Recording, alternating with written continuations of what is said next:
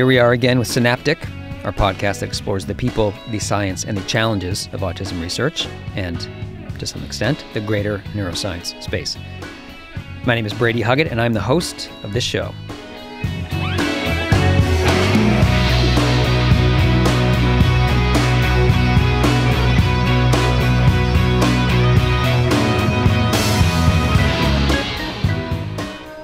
Today, we're going to start in 1852, when a post office was established in Maryland, not far from the Potomac River. Nearby was a Presbyterian church called the Bethesda Meeting House, and because of this, the new post office was designated to serve an area called Bethesda. But the post office failed within six months, and it would take another 10 years for the government to decide to try again. The location for the new post office was in William Darcy's General Store in the downtown area. And for a while, people simply called the post office and the surrounding area Darcy's Store. But when Darcy himself no longer served as a postmaster, the Bethesda church pastor and some other people petitioned to change the name back to Bethesda. And indeed, on January 23, 1871, the name for the area the post office would serve was legally changed, and Bethesda was officially born. Today, Bethesda is a suburb northwest of Washington, D.C., has a population of about 68,000 people about 70% of those are white, 11% are Asian, about 9% are Hispanic or Latino, and about 5% are black. And I'm telling you this information because Bethesda is where Ashura Buckley lives. She lives in a little neighborhood, almost literally in the shadow of the NIH where she works. In fact, she and her family chose this location specifically for its proximity to the NIH.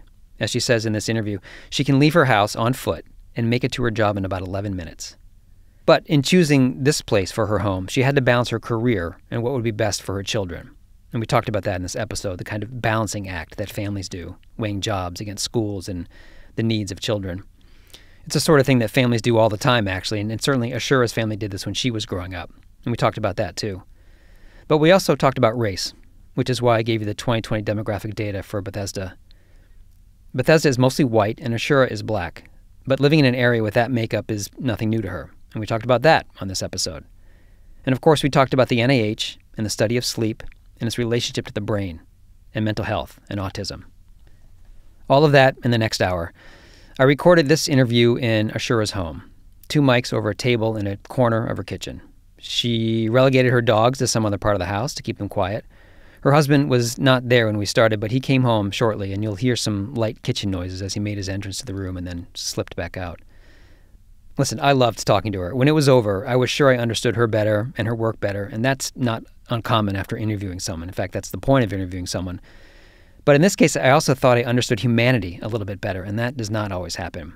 And that felt valuable to me. So let's start here, where Ashura and I are talking about her commute time. This is your episode of Synaptic with Ashura Buckley, starting right now.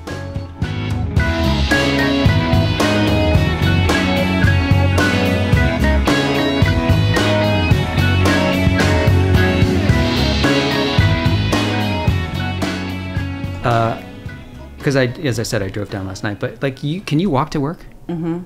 Is that why you live here? I can, partly, yes, I can walk to work, and it has been wonderful. It's about 11 minutes door to door. I'm a fast walker, I Yeah. have to say, um, but it's about 11 minutes door to door to my office. And when I moved into this place, my kids were still in school, middle school. Oh, okay. And so it was either be close to school or be close to work, but anywhere that wasn't either one of those things, it was going to be impossible to do.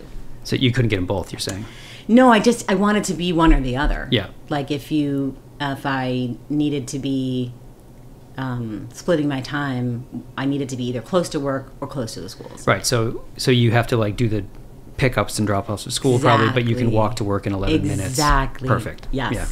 Yeah, that's a, not a bad way to do it. I mean, that, you know, so I live in New York, and I honestly think people's quality of life depends on your their commute, whether it's an hour and a half from Yeah. Queens or 15 minutes on one train. It Yeah. really it really matters. It does. And as the kids got older and they learned to drive and they were, you know, um, more independent, the red line's right here. And so they can actually walk to the metro if they didn't want to drive. But because I'm a doc, you know, your hours are not set. Yeah. You're not like eight to five and then you're done. Um, and so if I needed to be anywhere like quickly, you know, or pop in and see a patient or, you know, talk to a research assistant or clarify something I need to do, um, whatever clock it was, this turned out to be the, the best solution. Right. So if someone said, I don't know, for some reason somebody showed I can be there Yeah. in ten minutes. You can actually be there That's in ten right. minutes. I yeah, that's 10 kind of amazing. walking. So you've how long have you been in this house? So, mm, 2011. Oh, okay. So Yeah. twelve, coming up on twelve Yeah, about a dozen years. Yeah. Yeah. But you were not. You're not Bethesda by birth. I. No, I am not Bethesda born, which I think sounds funnier. Um, I grew up in New York. You did. I did, but Well- not Manhattan. And so that's always the first question. People are like, New York, New York? So New not York State? New York, New York, New York State, about an hour north. Yep. Oh, where? What part? Um, I grew up in a town called Somers, New York, which is on the Westchester Putnam border. I can see it on a map, but I've never. Uh, I don't think I've ever been there. Um, so Mount Kisco, Katonah. Do you know that line? yes. Yes. Yeah. So okay, how, how is it that your family was there? Was it a long lineage there, or did they move You there? know, you- not there, but in New York, yes. Oh. So both of both my mom and my dad are like generational New Yorkers. Um, my dad grew up in Queens until ten, and then upstate New York for the rest of his life. And um, but his family had been in New York City and Queens for generations and generations. And my mom um, grew up in Washingtonville, New York, Mm. also sort of up there in Orange County, and they had been there forever. Forever. So I think in the 70s, you know, my mom um, stayed at home. she's a homemaker. And my dad had a business in the city. And he didn't, like a lot of folks, want to raise his kids in the city. Yeah. He wanted to raise his kids in the suburbs with, you know, the idyllic better schools and property and that kind of thing. As well, as, I mean, especially the '70s, right? I mean, Yes. New York had come out of a bankruptcy, and it was a worse city, I think, than it is today. Yeah, I mean, so I was born in '72, and um, I think we moved. I was born in Staten Island. Oh, you were. Yeah, yeah. Oh, so your family lived there for a while. Well, we moved because they kind of did like the move away from Queens gradually, and so then I was born in Staten Island, and then in my sort of early babyhood, childhood. Um, they moved a couple of times and then settled in Westchester when I was five. So I started kindergarten in Westchester and then went through age 15 when I left for boarding school. So your your both your families, your mom and your father's side of the family, the lines originated in the city and sort of migrated out. Well, I think my mom's originated in upstate. Oh, like okay. they're like old. I mean, sh you know, it's funny. I don't know if you have a relative like this, but my mom in the last like 15 years has gotten in very, very into genealogy, and it's so much easier now, right? Because you Mm-hmm. Yeah. could get online, and she's met all these different um, cousins, you know, reconnected with folks that she knew when she was 10 and 15, um, and so she is putting together everybody's, you know, both my maternal and paternal side for the grandkids, and yes, their their lineage goes back generations and generations and generations in upstate New York, Ah. like farm folks and Yeah. mountain folks. She's got all Yeah. sorts of names for the different lines. Yeah. Um, but my dad's family was in New York City until they came up. Was until your- he moved up. Was your dad's family like the typical some immigrant moved into the city and then they No, I don't think so. I think both my both my parents are long term um, uh, Americans, as Ah. in came to this country in bondage, married Oh. whomever was around, you know, generation after generation. Early sort of black freed folks on my mom's side, um, and professional people who had migrated up north on my dad's side. Um, and so, yeah, it's funny. I didn't really realize that until you sort of get older and out in the world and you meet people from a lot of different places. Um, that there are sort of a lot of different lines of the sort of African diaspora, and Yeah. we we are very sort of ensconced Americans. Yeah, Th- this um, I because I don't you know so I live in New York and I've lived in New York for many years now. But do you have any thoughts of Staten Island? Because it is you know I, it has this, especially among Manhattanites. I think it has like a reputation as being this sort of outward borough that nobody wants to go to. They vote conservative out there, that sort of Yeah. thing. And I'm wondering if you have any Yeah. thoughts on that. Um, I don't have any particular thoughts on it because I was a baby. Yeah. Um, but I, but not any personal sort of memories. But it's funny that you say that because that is the reaction. Yeah. Right. People don't expect like you know a black progressive woman doctor to be like, I hail from Staten Island. You know, they have a very different idea of who lives and votes there and, and how it goes. But I think, like all things, um, I don't think any place is really that simple. And certainly when you were in my mom and dad's shoes, like they were pushing boundaries, I think, a lot, right? Because my dad was looking for something that wasn't what he was allowed to do or be. Um, and so I think maybe they found themselves in some places that weren't the places that people thought that they would be in. Right, and, and Staten Island would be one of those. I think maybe from from what you know the reaction that I get when I tell folks I was born there.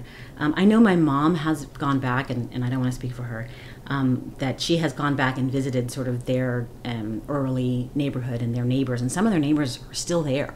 You know, yeah, um, that's like 50 years ago. So mm. these these folks are still there, and she always speaks very very warmly of them and the people that remember her. They remember my. I'm one of eight, right? So oh, you are. I'm a, yeah. So there were three above me who were there, and they always speak really fondly of of you know they remember my older brother, my older sister. So I think you know things are not as simple maybe as they seem. Well, they never are. Um, right? Because I remember like the first time I ever came to New York. Well, as an adult, someone was like, we were. I don't know where we were. I couldn't tell you now because I didn't understand New York's the geography of it as well as I do now. But we were someplace where you could sort of see out over the um, bay, I think, and they were like, "That's Stankin Island over there." Oh. and I was like, "What do you mean?" like, it's just like a garbage dump. And, um, oh, that's terrible. Yeah, it was really. Yeah, I was like, yeah. "Oh," and in my yeah. mind, I was like, "I guess nobody goes to Staten Island." But then I, you know, I moved here. I was like, "I've been out for the Staten Island Yankees. Right. Um, I've gone out to eat pizza. It's actually not an island right. of garbage." Right. Um, Thank you for that. Yeah, no, I completely. my birthplace is not an island no, of garbage. No, not at yeah. all. So I think I think those are those are the kind of the things, and and what's good about that is you know you hold those perspectives then going forward in any in every stage of your life. Things are just not as simple i, I mean you'd like them to be. I think that has to be a great base to do science. Yeah. This understanding that things are really not you know black and white yeah. as as we think it is and you have yeah. to really get down in to figure out what stuff is. Yeah. Yeah. That's absolutely what drives me. Really? Yeah absolutely. I mean i went to college to go to med school and thought you know, I knew that I was going to do that. I loved biology. I knew I was going to do that. I was one of these people who was like enamored with helping. I was one of those little helpers, and I, this is what I was going to do. Um, but I went to be an OB-GYN. Like that was how I saw myself. Like I was going to, you know, bring new life into the world and this supportive sort of. I had a very strong feminist bent. I really thought that was the thing, and my life didn't turn out that way at all. Um, but I think the things that I study now are sort of much more in keeping with um, the things that go through my head on a daily, huh. which is um, it's beautiful to deliver a baby and know what the gestational progression should be um, and to be helping. Um, but there was always sort of the why questions about other things, things that were part of medicine, but were really much more part of society and more broadly, kind of much more part of life. Hmm like and i came to um, work eventually for a long time now in, in the institute of mental health. But that to me is really um, it's not it's I, I don't think that i'm looking for diagnoses. I think i'm looking to decrease suffering. In order to do that you have to sort of have an understanding about humanity. Yeah. so it's not it's super unsimple i guess is what i would say. This uh we're going to have to go backward in a second, but for like this idea that if you had been an OBGYN, then yeah. you might have delivered a thousand babies in yeah. your life, which has been Would kind of amazing, beautiful thing. But there might not have been the sense of exploration that you get doing research. And is that right? That is right. But I will say, going back a little bit, the decision tree where I deviated from um, being an OB-GYN into being a neurologist was also not something that I was conscious of doing for that reason. So I actually had my daughter as a third year medical student and my son as a pediatric intern. And it was becoming a mom during my training where I thought, you know what, I, I love OB-GYN. And I cried when I told my mentor I was not going to do it. Um, it was like it was it was very traumatic to let it go, but the work-life balance of being a surgeon and an obstetrician and having a newborn and later uh-huh. a newborn and and a toddler was just not yeah. I just didn't think that was practical. And so I went to all of these wonderful folks who were my mentors. Um, there was a wonderful neurologist named Nicholas Len when I was when I was uh, med student and a resident, and I said, you know, I'm in this state where I'm grieving the loss of what I thought I was going to do, um, and I'm thinking, you know, where is my direction? And and I had sort of become close to him because I was interested in what he was doing, and he was like, "Oh, you're going to be a child neurologist." Seriously? yeah, he was wonderful, and so I did a little sort of hanging out with him and thinking, and he was like, "You know, you you love this stuff. Yeah, I can hear you talking about it. You know, you have an aptitude for it, and and it's it's um, fun, and you're investigating, and you're going to keep being able to ask questions." And so when I let go of being a surgeon, mom, OB-GYN, um, that mentor was sort of what pushed me into, I, I do like this. In fact, I love this. And so that's kind of how it happened. Okay. Born in Staten Island. yes. You're the fourth of eight. I am the fourth of eight. And then, whatever reason, your parents like, we're actually going to. Yeah, they want to go further up. Further out. They right? want to have So they- property. They, want to have yeah. a pool. They I mean, want to give kids. their kids. Oh, you want to, yeah, the pool, the whole thing. they want to give them right. the whole thing. Yeah. So, you probably have what I'm based on what you just said, some sort of maybe like idyllic childhood where you've got Well- you've got neighborhoods and you can go. Nothing's ever know. simple, right? Yeah. like back to our, our, our first theme. Um, yes. So it was. So this is interesting because this is sort of, I think, what I've come to think of as a suburb, right? You walk to Bethesda. a city, it's Yeah. much more, you know, it's close in. Um, but we moved into what was more like the rural Uh-huh. suburbs. Not really an exurb, because exurb I now think of as sort of just like, you know, more dense but further out. Yeah. Um, but definitely like homes on acreage and, you know, you're driving everywhere, yeah. Um, which has its good and bads, right? Because my mom was a homemaker. And so, you know, sh- she's there with however many children. Um, yes, but I think for my parents, that was a gift that they thought that they were giving us, right? That we weren't going to be in the city. Like you said, it was the 1970s, and my dad had his business there. And so he got to see, you know, some of the, the less. Um, less kind sides of people being in the city and he didn't want Yeah. that for us and he thought that westchester was something he could give us. And i think that was the reason that we moved up there. But then you know the the flip side of that is there were no black people there. Oh, really? you know i mean there were some. I probably know all of the ones in the town. Two or three families in like you know um, and it was the 70s and those those thoughts about sort of what staten island is like those kinds of provincial um, viewpoints were everywhere particularly in places where other people not black families were moving to westchester for the same reasons right so you have people thinking um, ha- having their own ideas about what this Westchester experience was supposed to be for them. And I think it was um, difficult, harder on some of my siblings than others, um, to grow up in that environment. One thing. What was your dad? Was your dad still going into the city for work? He was, yeah. So Every he, day? Yeah. So he Wow. had um, a business on the Avenue of the Americas now, Yeah. like what that is now. And it was it started as a bike shop, and then it became a bikes and things shop where it was like clothing and two and three wheeled vehicles and things like that. Um, but Was he yeah, a he spent a lot of yeah. So Ah. he yeah, and and the business was wonderful, you know, f- for as long as it lasted, and and um, but he just didn't want us in the city. It wasn't a cool thing Yeah. for him. Yeah. And so um, somehow this bike shop is enough to provide for the whole family, including the eight kids. Yeah, well, until my parents separated and sort of things sort of explode. But but yes, you know, and I think it was a different time period. And Yeah. you know, if you were um, very successful in a shop, you know, you could be very successful in a shop, and you could, you know, raise children outside of the city. Um, yeah, long time ago. So when you, your most of your memories, this town up in Westchester, right? Yeah. And uh, based on the things you just said, was it a happy experience? I mean, we're Yeah. there was- so, go, go ahead. and again, I being one of eight, like everyone's got their own individual like way their tolerance levels are. Um, but I generally am a happy person. Yeah. So I generally ha- was happy. Um, but I think also I give more memory weight, if if I may, to the things that were happy. I know intellectually that there were things that were not happy yeah.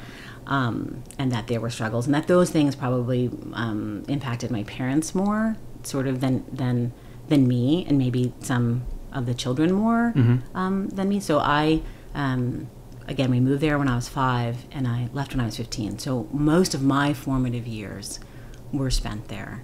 And that solid chunk of development being consistent, I think I really lucked out as the middle child in that way, right? I right. don't have previous, you know, experiences. I left and went to boarding school in Connecticut at 15, so I don't have post experiences trying to live there as, as a young adult. Um, so I think by dint of sort of um, fate, I ended up with this chunk of really consistent, This yeah, decade beautiful of life. Yeah, Yeah, and I mean, you were happy. You had friends. It was a decent childhood in that way. Yeah. yeah. yeah. But if, I guess I see what you're saying. If you had moved there when you were ten, as maybe some of your older siblings did, it's a more Yeah. upheaval, and you were thrust into Yeah. because those those middle school years are rougher. They are And if you're put in there as an outsider coming in, and if you're one of the only black people in town, for sure that had to be hard. I think. Yeah, and there was that. Yeah, Yeah. and there were lovely, wonderful people, Yeah. right? Who were like, that doesn't matter. My mom was involved in everything. She was, she was a den leader for my brothers. She was my scout leader for many years. She was involved in you know the American Field Service community and and, and everything. So she was you know homemaker supreme. She threw herself in there, and she made wonderful friends. And there were people in those neighborhoods for whom you know race was not an issue, and and to that extent, um, that you could make those friendships. She did, um, but then of course it was the seventies and eighties in, in in an area where many people had moved to that area because they thought they were also leaving people of color behind. That was Oh, part. Well, sure. I mean, there was a white flight type of Oh. time, right? So Yeah. the the moving out of the city into the Westchester suburbs, um, we were accompanied by other folks who had other ideas. Let's talk about this because this is Yeah. actually, I think, a really interesting point. So, um, my family, we lived in Detroit when I was young, right? And it was my dad worked at, at um, for GM, so he was in the city every day. But our home was in a suburb, and the the riots had already happened in Detroit, and there was this white mm-hmm. flight happening. But my thought, Yeah, and maybe this is wrong based on what you just said, Yeah. but people were really fleeing. You know, ha- Detroit had been on fire. Yeah. And there was all this violence, and like we don't want to be around Right. this violence. nobody wants to be around violence. But you're suggesting that maybe the white flight is also just like if you move to an area like Westchester and you see a black person, Yeah. they're assuming that violence is coming that or they just no, it's literally I think the it's more color. complicated than that. I, I don't think, and that's really interesting that you said that because, of course, you know, of course, no one wants to raise their children in violence. Doesn't matter Yeah. what how you identify. Yeah. You, that's not something you want for your children. Um, I think it wasn't that they um, necessarily equated people of color with violence.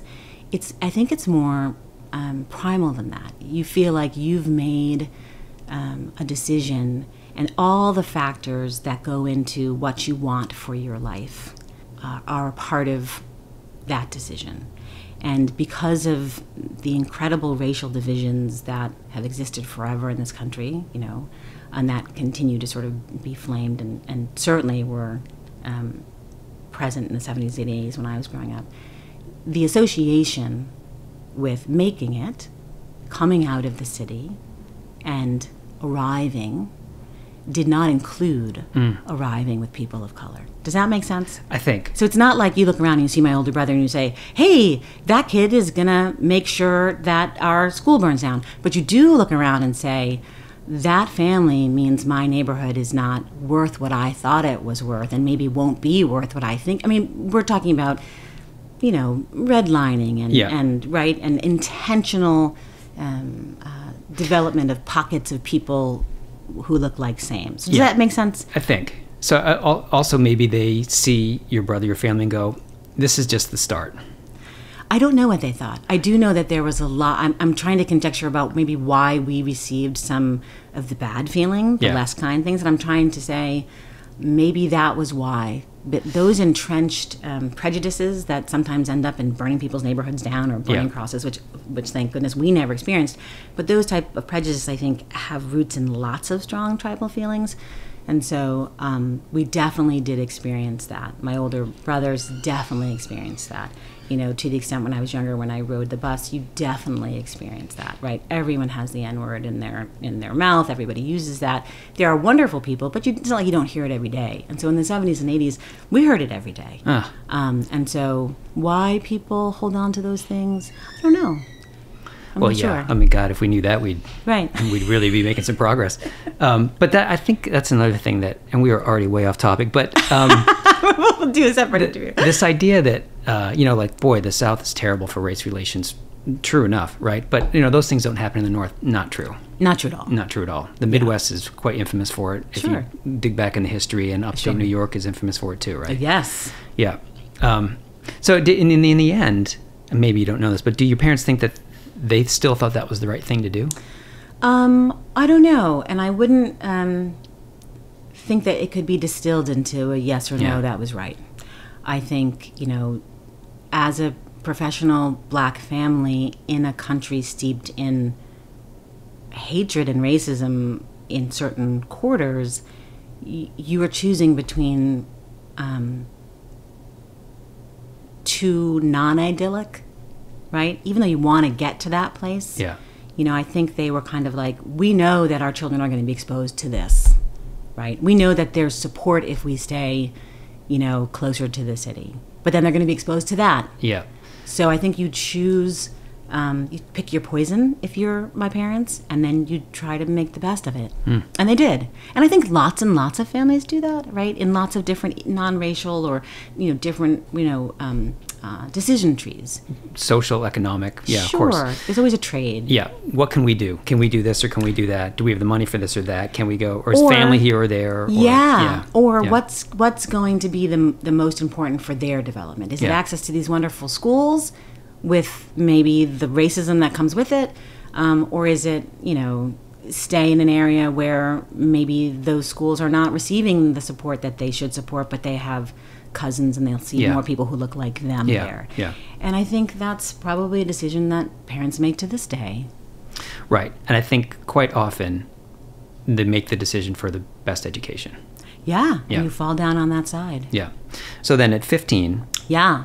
you go off to private school. Was that your idea? I Was it do. their idea? It was my mom's idea. So um, I think sort of the stresses of life um, started to really pull them apart, my parents, and it became clear to my mom that, hmm, I'm not sure that this is going to end up with you finishing high school here. I want you to take this test. So she was like, you have proven that class is boring to you. You've already they're already pulling you out and putting you in library separate classes. Take this test, and we're going to get you somewhere else because if and when Dad and I separate, which did happen within that 12 month period, you have an avenue to up and out, and that's what happened. So I took the test, and Wh- what was the test? oh, it was like For that oh, specific what was school? No, no, no. It was um, it was like run out of it was ABC. It was like a Better Chance Foundation has these this um, funnel. Well, they will place children of color into um, elite boarding schools Hmm. around the country, mostly in New England. And so my mom, being the researcher that she was, had stacks and stacks and stacks of opportunities and schools. You know, she had all these kids that she wanted to make sure that we understood uh, exactly how, how the world was and as much information as we could get and knowledge. And she was like, there is this program and you can do this. And um, we'll send in your scores. And if we leave, you'll have these options. And that's what happened. And so I took the test and I got a letter that said Taft, which was a, an elite boarding school in, in Connecticut, would like you to come. So your mother in the schools had already Yeah. identified you as whatever word you want to use. Whatever An word you want to overachiever. Yeah. Yes, obnoxious overachiever. I prefer that one. I think that happens to a lot of people who end up in medicine. Like you, you like to learn, you like to do, and so you're always asking for more, and Yeah. then you end up getting attention, and then Oh, you up- were. You were asking for more. Well, or were you just sort of yeah. like this? Every test was an A, and you were done Yeah. before every other child. That yeah, sort of thing. I think both of those things, and then like, well, what can I? What else can I do? Kind of thing. And so I was already in a pull- pullouts where they're taking me to the library where I would do other stuff, which I think is why my mom was like, okay, I have an answer for you. You know, I think it was hard because you know she had a lot of other children. You don't Yeah. necessarily have an answer for everybody Yeah. when your when your life is, is imploding. Um, so yeah, that's what happened. So, did you? Were you like, okay? Yeah. I'm totally fine with leaving the house at 15 and going to a private school where you were probably again Um, yeah. mostly white. I would assume. Who the school? Yeah, Taft. Yes, except for the students who came on these programs. Yeah. Which which is an interesting phenomenon.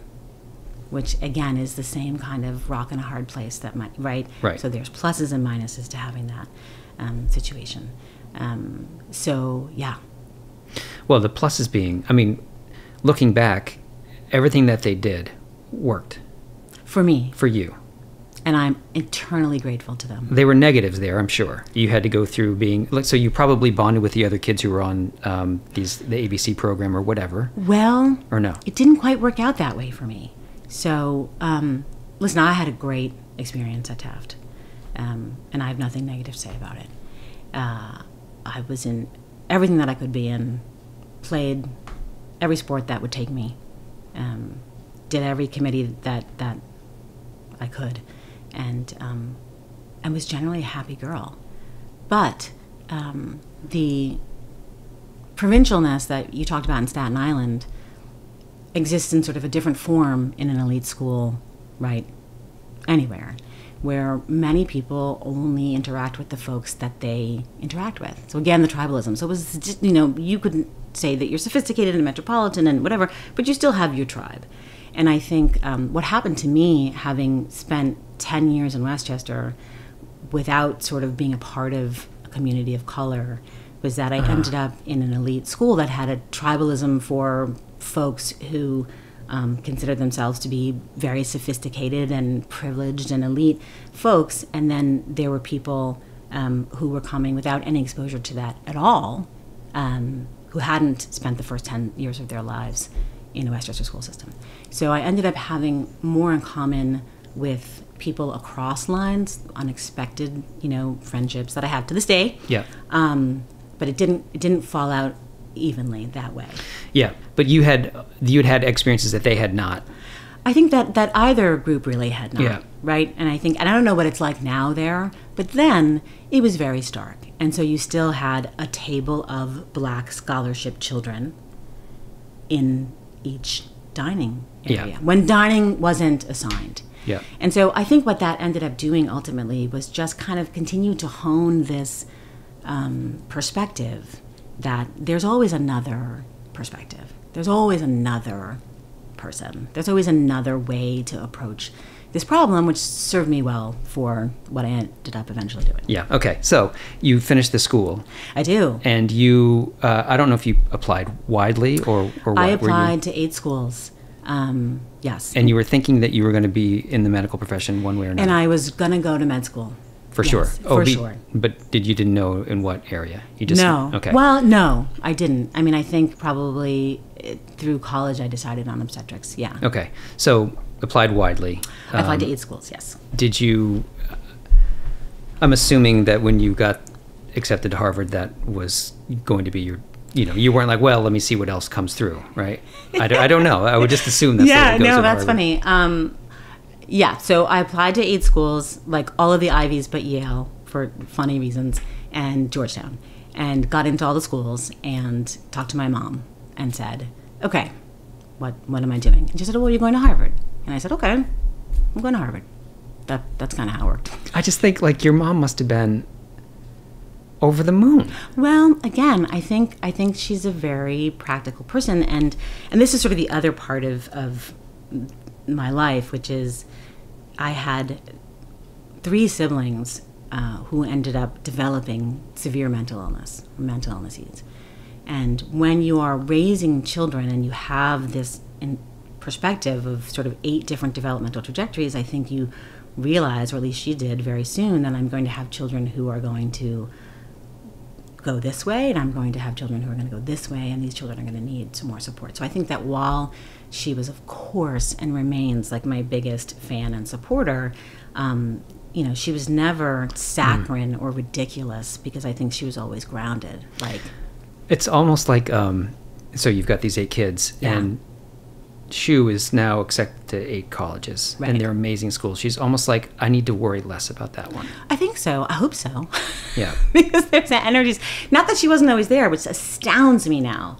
Like she would get on a bus and come from Albany to Boston. If I had, you know, made up health scares, she would come, and I remember those times that she came. And now I look back and I'm like, how did you do that?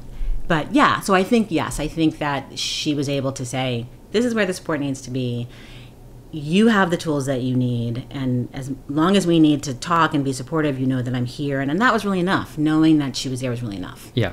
When your parents split, your mom went to Albany. Yes. Did your dad split. stay in Westchester? Um, no, my dad ended up first in Maine and then in California, and and honestly, we didn't really have any. I didn't have any um, further contact with him. I remember he called me at school and was like, "Your mom and I are separating. Um, you can stay with mom, or you can come live with me." And I was like, "Well, mom has four other children that she's raising, so that sounds like fun, but that's not going to happen that way." And so. Um, I didn't actually have any more contact with my dad. Ah. When I was a resident at Mass General, I got a phone call that he had died suddenly at 56. oh, Yes, had a had a ruptured aneurysm in an airport in California, and that was the next time that I, yeah, I did not know that. yes. Well, not many people do. Um, do you That's okay. Yeah, do you want to talk about like the, the Yeah. main the main question I have about that is um, that's young to for Very a young. parent to suddenly go like that, and especially if it's unexpected. You know, the the thing that I think about um, is you you have now seen the whole scope of that man's life. yeah, well, you weren't there in the beginning, but you know it ends at 56, and there is no more to add to it. And I, that I that's uh, that is sort of like um, I find that troubling in a way, like like to see the whole of someone's life. Well, don't we do that all the time with Yeah, but- relatives and people? Well, yes, relatives. That's what I mean. Uh, when it happens in the outside world, you're like, well, that person died. But when it happens in your family, it's a different Yeah. thing. And you were pretty young when that happened. Um, yeah, my parents were 24 and 25 when I was born. So when my dad died, I was 31. Oh, okay. 30, so not that 31. young. I was a mom. Yeah, I was in residency. yeah, Right? And and the interesting thing about the path that I ended up choosing, which is child neurology, is that a big part of your um, neuro training is child neurology. Um, um, has unfortunately, we take care of a lot of the devastating early childhood diseases, right? Whether it's a metabolic disorder or it's a genetic um, problem. But um, people dying early was not a new thing to me at that point. Not, a, dad, not maybe, you know, yeah. but um, there's a different perspective. Right. That's he's the cap. He's a cap of your family, your mom and your father, and that cap is removed, and now there's no one above you. Right. Yeah. Because everyone, everybody dies, we know that. Yeah. It's the one given of life. But now it's sort of like you're next up. Yeah, I never felt that. That's so it's so interesting because I think my older brother, um, who's the eldest, I think he did. And Phil, I don't want to speak for you, but I think it probably makes more sense that um, maybe you s- see yourself in the same gender parent. I don't know. Oh. I didn't feel that way. Huh. I felt, oh, it's too bad that I never got to reconcile with you Well, that's the other thing. and have that conversation with you about why why you were unable to follow through with with you know the parenting part right? Yeah. like w- It- what happened to you and as i get older and i study mental health and i study stress um, I, I continue to revisit like what his last 10 years might have been like yeah. And that's hard because you can't, now Right. there's nothing to be done about that. All right. Moving on from Yeah. there. Um, so I, I had this thought too, because obviously I know that you went to Harvard. Did you have any idea? Yeah. Because going to college is amazing. Education is always going to better your life, it, it feels like. Yeah. But I didn't really know until I got older, sort of like what just the name Harvard would do. How many doors that sort of opens to have gone to Harvard. Um, I don't know. I think that um, it's hard to know. I mean, I get asked that a lot, right? And like a lot of people who went to Harvard, I don't lead with it. It's not like Yeah. a party thing. Yeah. It's something that I that in the correct context um, makes sense. And when it makes sense, it makes sense. But for the most parts of my life that are not career related, it's not a thing that I think about or that I um, think necessarily changes much of how I you know you there are people who would just never even have heard of any college who are brilliant and have different exposures um, and so I, I, I try not to put too much of an extra career emphasis on that. So where it's helpful i think are honestly things that i think maybe um, need to change a little bit structurally which is that there are entrenched pipelines that exist particularly in academia Yeah. um, where we take for granted that meritocracy is a thing, and I'm not sure that it is a thing. And I think as I mean, yes, it's it, it yes it, it is, but then there are also all these other constructs that decide who gets what job. Right. It's it's sort of like um, so you went to Harvard, and absolutely based on your academic record, Yeah. you deserve to be at Harvard, right? That's Well, listen, you did the work and you Yeah. graduated. So in I their the eyes, graduated. that's it. Yeah. But there's lots of people who could have done that and did not get that chance. That's the Absolutely. yeah. It's not that like everybody who d- deserves to go to Harvard can go to Harvard. Yeah. And that way, it isn't a meritocracy. Yeah, and so you maybe put, yeah, so I put less emphasis on that. I'm proud that I did that. I'm happy that it worked out well. Um, yes. Yeah. Okay. So when you leave Harvard, Yeah. now you're like, okay, I know what I'm going to do with my career. Well, yeah, no, not necessarily.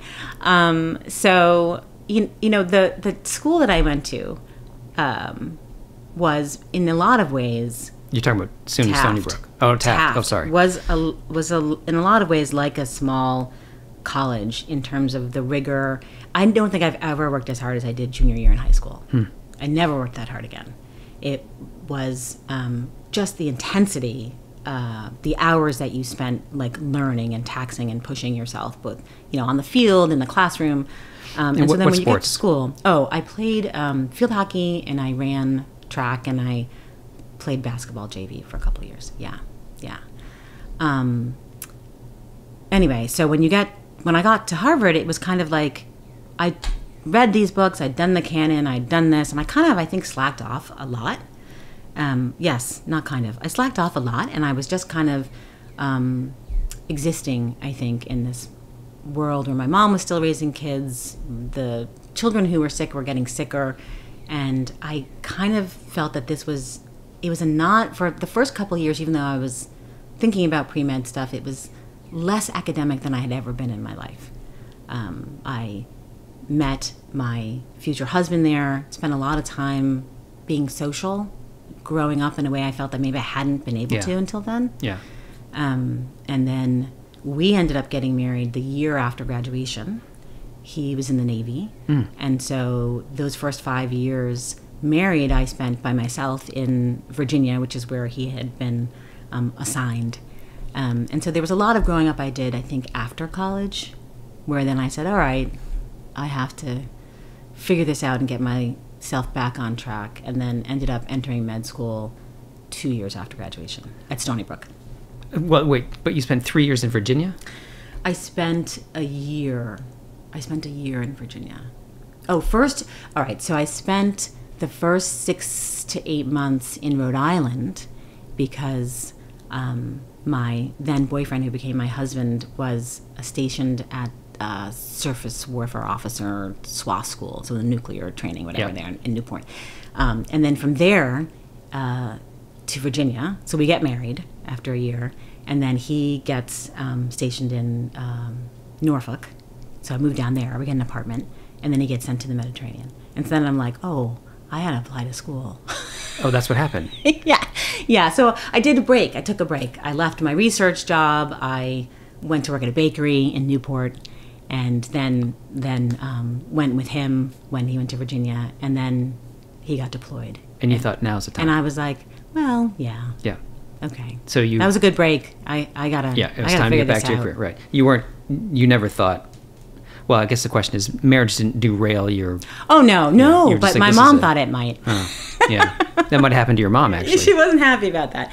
Yeah, she was like, "What? You're getting married?" And now, of course, I'm 50, and I'm like, "God, getting engaged at 22, that was madness, right? I got married at 23, that was madness." But at the time, you know, I felt I'd done all this growing up, and I was ready. Yeah.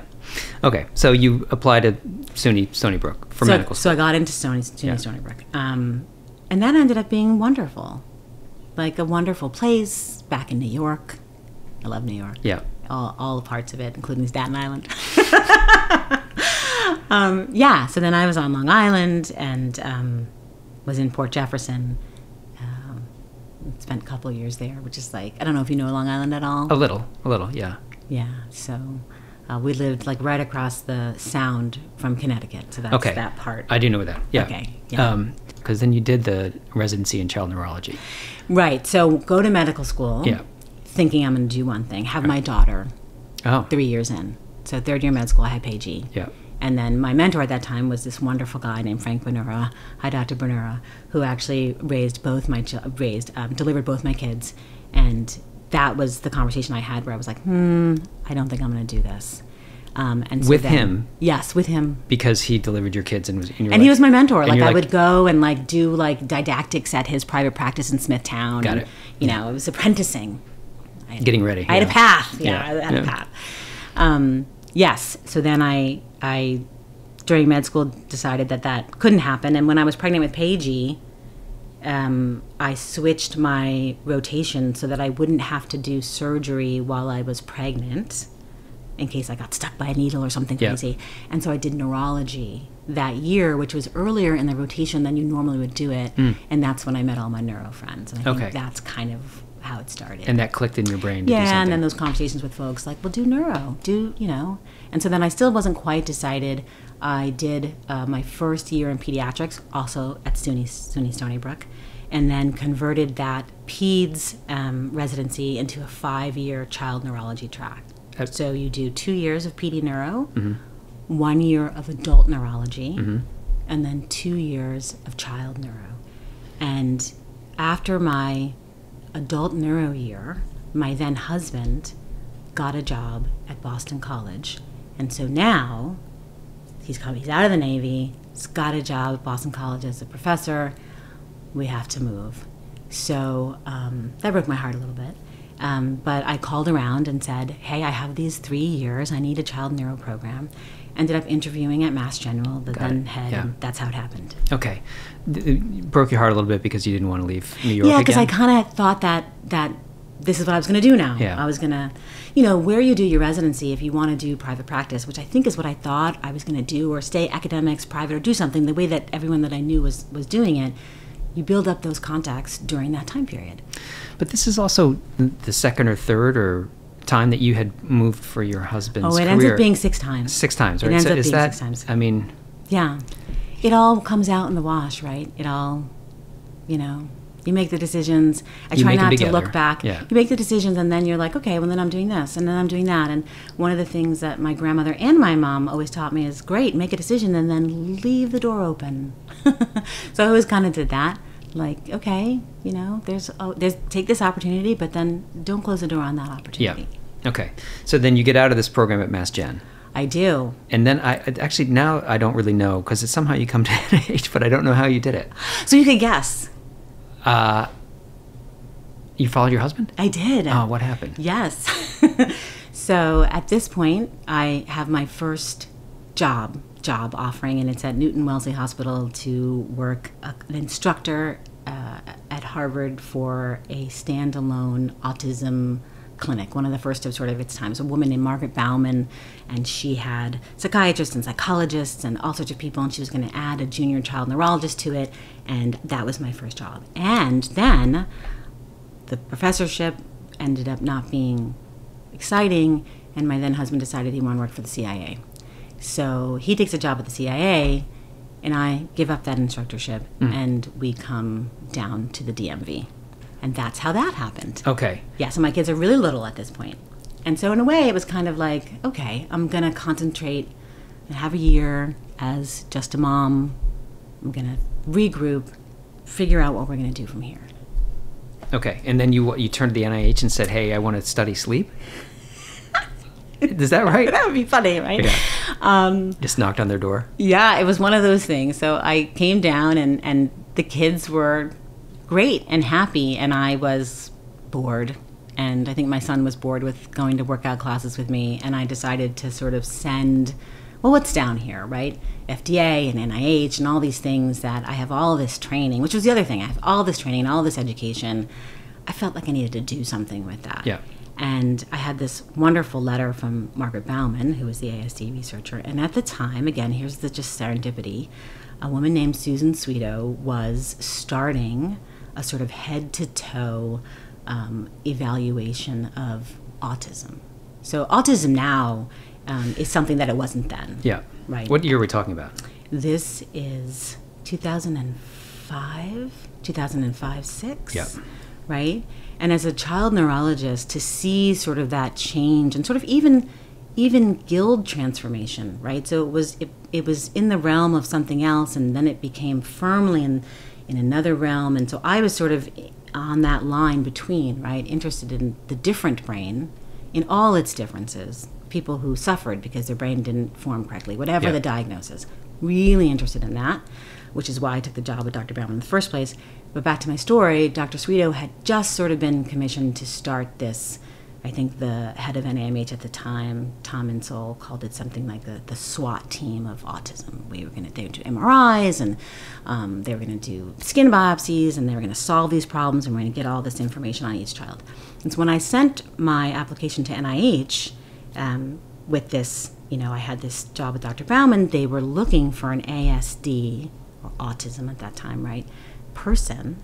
And so I joined that group as their junior neurologist fellow. And I did a clinical fellowship learning all about how do you formally research things that you're interested in um, under the auspices of the Pediatric and Developmental Neuroscience branch under Dr. Swedo. And that was my introduction to NIMH. And then I think you helped set up the sleep service. So that At comes many years later. I thought that was like 206 that happened. Um, I started sorry. doing sleep research under her as a fellow, but she was wonderful and kind of allowed me to sort of pursue my interests. She wasn't necessarily interested in sleep electrophysiology, but I was Yeah.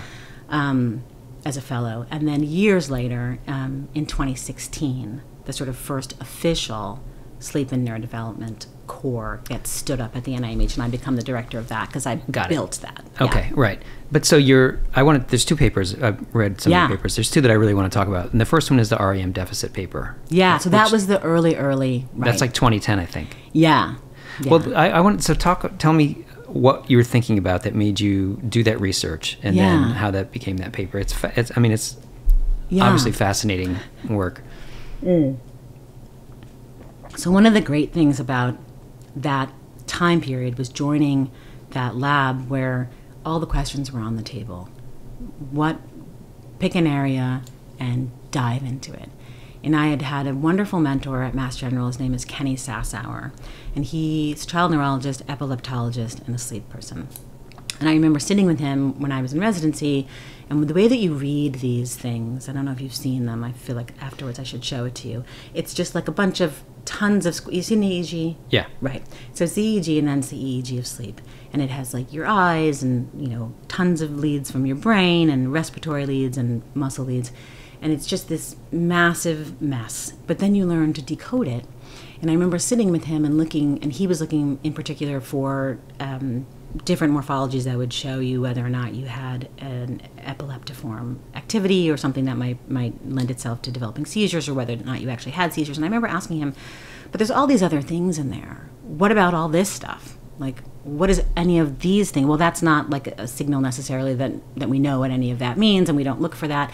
And it just seemed to me like, oh my god, like I'm watching the brain change from being awake to being asleep, and then all these weird patterns, and now I know you're in the dream state, and it just it had this really incredible beauty to it that I was watching you go through these Yeah. states, and that we didn't really know what any of it meant, and that no one was harnessing that information. Right, That's it's- how it started in Mass General. So that it's like, uh, oh, that started Mass General. That was working with Ken Sassower, Oh, okay. asking the question. He's actually on that first paper, I believe, Yeah. because of that. Okay. We okay. were asking, like, well, what, is, what does it mean when it looks like, well, not sure what that means. Right, that's not my area. I'm not looking at it. Or We nobody really know. knows. No one knows. Which it. was we much more know. seductive. Right. So then, and this happens a lot in science, and and this isn't a criticism, but it's like we don't really know. So I'm going to disregard that right now because I'm looking at this. Right. well, sh- well sh- ha- you have to start. You have to. Right. Yeah, and you're yeah. looking at that, being like, well, if no one's looking at that, then I want to look at that. Or like, well, more more um, more salient was maybe because he was a child neurologist. We saw children who had lots of difficulties, right? And remember, this is pre-diagnosing Yeah. everybody, putting everybody in a label. And it, and it turned out that there were a lot of kids that didn't have a label, but they had different looking patterns. Hmm. And so I would say, this kid's X doesn't really look clean. It's really hard for me to stage this kid. You know, I know you've taught me how to do, you know, now I'm in deep sleep, now I'm in REM sleep, but I don't see any transition here. Those things became really important because that inability to read those, to decode easily, meant that you were seeing something salient about the way that brain was organized. And so that came down to my thought process when I started with Dr. Swedo, and then I I had another wonderful mentor named Susumu Sato, who hmm. at the time was the head of the NINDS um, epilepsy lab. Lab. He was the chief of, of epilepsy, I think, and he had a separate kind of boutique interest in sleep. And so I would sit with him, and he said, "You know, two decades ago, Shu, I thought about this. Like, if we could quantify." If we had the ability to extract some of those questions and reconstruct, he's like, but you know, it never went anywhere because of the engineering necessary and the computational, you know, modeling necessary. But I think fast forward now, now we're at that frontier where we do have the tools to dig in there and reconstruct those patterns that were indecipherable, but that are, and I firmly believe this, incredibly relevant to developmental trajectory mm. that, that are sleep unique. Right. So then the paper. Well, tell me. Tell me yeah. the conclusion of the first paper. So the first paper was in exploration, and and this is where I've always liked to live, and I think people like to sort of push further, and you have to push further because you have to develop hypotheses. But I've always liked to say, I don't know what this means, but this is what we found. Right. To the best of my ability, I'm going to describe to you what we found. And um, that first pass on those papers, and it was 100 kids with, with ASD and some with developmental disorders um, that did not have ASD, and then some, kids who didn't yeah, have any of that. Right. And it just looked like their brain was organized in a very different way, in, in a very superficial glance, which was how much time do you spend in X state? And that was really just this is what we found. We looked, we graded, and we found that it looked like maybe they weren't spending as much time in REM sleep as we think they should, and these are all the reasons why we think people should be in a lot of REM sleep when they're developing, and they're not doing that, and what does that mean? And that, again, was very basic reporting out. I don't really know like where the rest of the field was at that time, but for when I read the paper, I mean, I was like, God, it's very clear. Number one, right? But two, it just opens up all these questions that I can't really get my head around, right? Like, what, like how do we, you know, the importance of REM sleep if if children are getting less REM sleep at a young age, you know, this is about whether there's any causative effect for autism here. So sure. the paper shows like, look, these autistic children are getting less REM sleep than these other two groups that are in there, right? So what what does that really mean? And then then you think, well, like we know all know lots of children who slept very poorly when they were young and did not develop autism, right? so there's obviously other things at play there. Oh yes. But there's something here that needs further looking at. And that that's the only take home. And I think what happens in science a lot, and has to happen because then you have to go back and regroup and, and look again, is there are going to be people like me who are conservative in their interpretation, and there are going to be people who say, and does this cause X? And I just think, in terms of neurodevelopment, with the exception of sort of single gene disorders, right. we really don't have that information. Yeah. What we do have um, is a way to try to answer it more precisely. And that's really what I've spent the last decade doing, which is building consortia that consist of people who have lots of different perspectives, bringing the computational engineers in, bringing the psychiatrists in, the people who both see the patients and maybe work with models, the animal models, all of those people to say, look, this is a field that is ready for exploration. We have the technology to do it. And it has the promise of therapeutic intervention. We need to be focused here.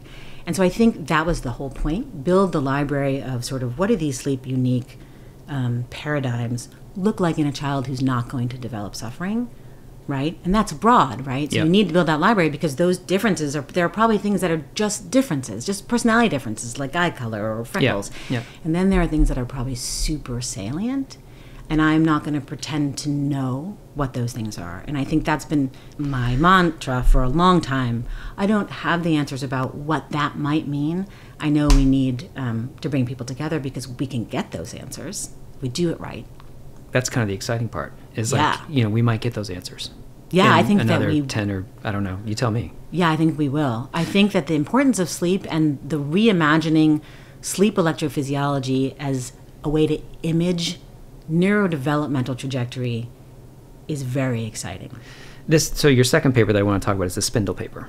Sure. Right, which is also, you know, it just it's what it shows is very clear. Again, right? It shows that these uh, children with autism have less spindle activity than these other two control groups. One it was um, disabilities without autism, and then a neurotypical right, child. The same right? cohort of same kids. cohort. Yeah. Right.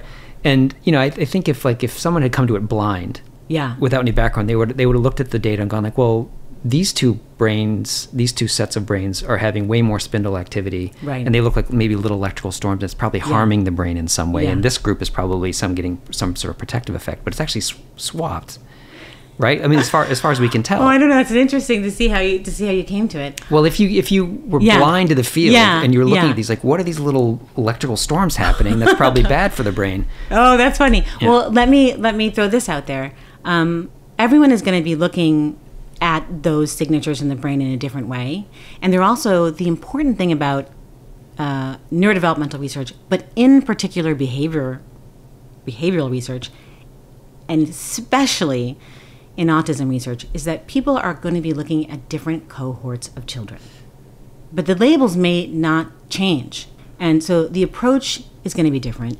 And I think that's why, um, again, I, I usually don't like to, we're not ready as a field to say X equals Y.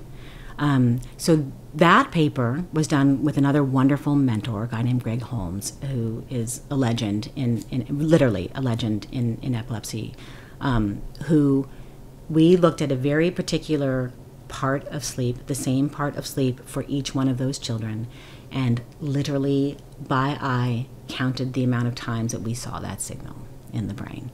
And that is what we that is what we ended up Yeah. publishing on.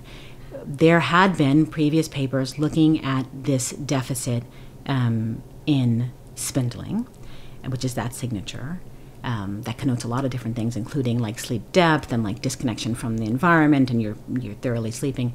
Um, couple handful in people with autism, and almost all of them also had intellectual disability, like our crew. Yeah. Um, but the bulk of the work in psychiatry looking at that signal had been done in schizophrenia.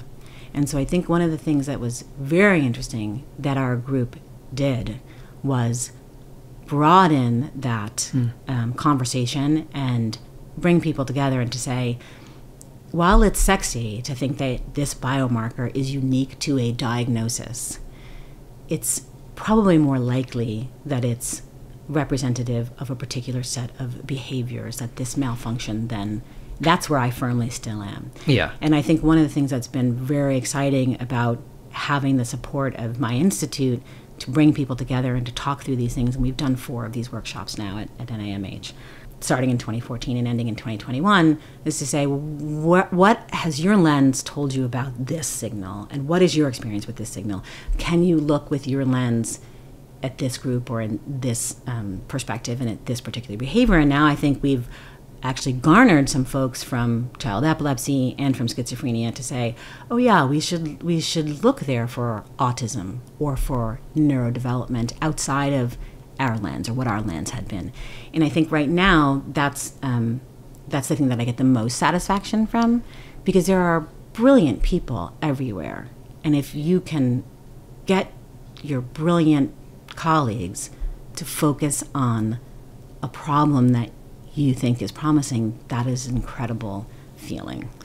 Well, you mean the sort of um, almost like a super team. You get all these different ways of viewing things and get them in one room, and then it opens up the conversation. Yes, and even if you don't end up, even if then they go spin off into their own thing, but with that nugget of Yeah. shine a light on this. Yeah.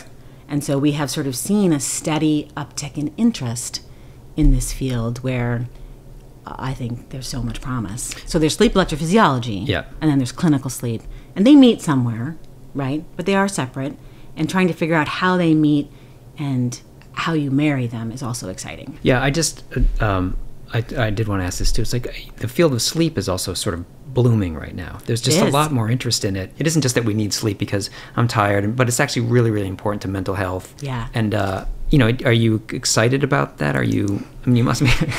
your face tells me yes. Yeah, I'm super excited about it, and I think I think also, and I have to just give a shout out to um, uh, you know Dr. Pao and Dr. Amara. These are my um, the leadership team at NIMH. Like the patience to let um, somebody build, right? Build their ideas Yeah.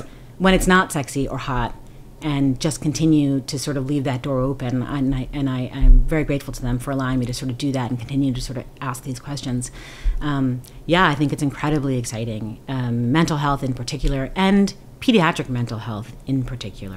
Right, the development stages. Right. That you're building. When are you building your brain? Right. Yeah. So sleep really should be. It's food, right? It's exercise. It's super, super important. Um, but not just that it's important in that way, but the clues in the electrophysiology are also salient because what you're always looking for are robust, reproducible, objective biomarkers. Right? That's what you're looking for in order to um, to do any kind of science, right? And so, uh, yeah, You know, you said that uh, this is talking about sleep and autism. You know, you you never want to say x equals y, Right. Right, and because the truth is probably more like x plus w and s and p might equal y. And by the way, y is really heterogeneous on its own, so you're really not going to get like this equals that. Um, But also, that's just kind of the joy of research in a way. Is you continue to look. You continue to seek answers, right? You Yeah. stay curious. Well, this this might be a part of it, but let's keep looking. Even when you think you Yeah. have it, you need, need to kind of keep looking. I would be very happy to get to the have it I just think um, science takes a, a long time. I think um, scientists know that, Yeah. right? Um, I would be very happy to get to a point where not x equals y in terms of development and, and developing a diagnosis, but x equals y in terms of if I do x, y is the result of a better outcome for that person. That I would be very happy to get to. And that is where we're working toward. Yeah. Um, one final thing. Oh, sure. Is it safe to say, given some of your family history, Yeah. whether it's your siblings or maybe your father, Yeah. that that is why you study mental health? Yeah. You're like, one final thing. Just to bring this back to the beginning. Yeah, I think it's very safe to say that. And I think the the super interesting thing for me about it is again I, I went through a little bit of how I ended up coming to that point and it wasn't a straight line. Yeah. And so the realization that you look back and you say, Oh wow, over the last twenty years I've been working to decrease mental health suffering. Why might that be? Yes, I think yes, you I did definitely end up always leaving that door open that this is where I might contribute. Um, I had an older brother who died at 40 who spent most of his life suffering with schizophrenia. Um, and I have a younger brother who, in his day, was diagnosed with PDD, right? Pervasive developmental disorder, was sort of like a precursor to, um, you know, uh, autism uh, in a way. It was one of those uh, diagnoses where if you made the diagnosis, diagnosis, but you didn't have evidence for whether or not it happened before some certain age, I can't even remember the exact definition, but it was um, a not quite, right? It was a not quite diagnosis.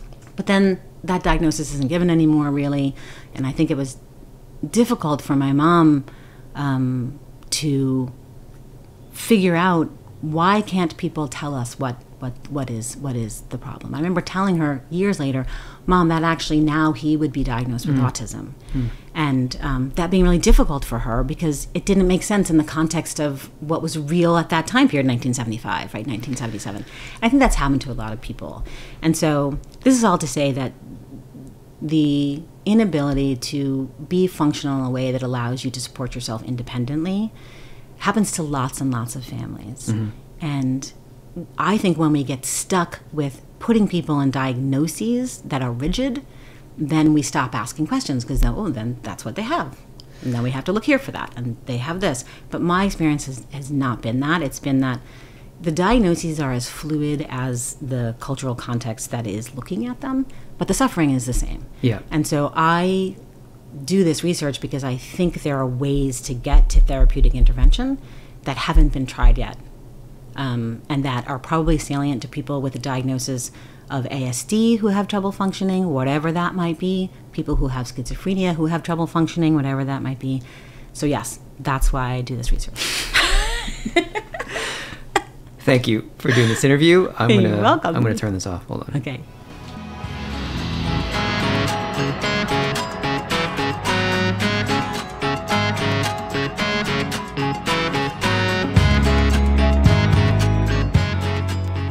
All right, there it is.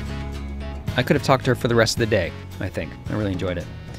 Uh, I should clarify that New York City was in dire financial straits in the 1970s and on the verge of possibly declaring bankruptcy, but it never actually did, as I suggested to Shu in our, in our talk. So I'd like to set the record straight there. Thank you, Ashura, for having me into your home. Just before I got back into my car, she and her husband gave me some breakfast pastries for the drive. That has never happened to me before after an interview, ever. So thank you. Thank you for that. It was very kind. This podcast will be archived on spectrumnews.org. You can subscribe to this podcast wherever you get podcasts. You can also rate and review it if you're inclined to do that sort of thing, as that does help other people find the show. Spectrum can be found on Twitter, where our handle is at Spectrum. Some of the history on Bethesda for the opening of this episode was taken from the Bethesda Historical Society, including from an article by Mark Walston. Our theme song was written and performed by Chris Collingwood. And that's it. I'll talk to you on the next one, and I'll let the music play us out.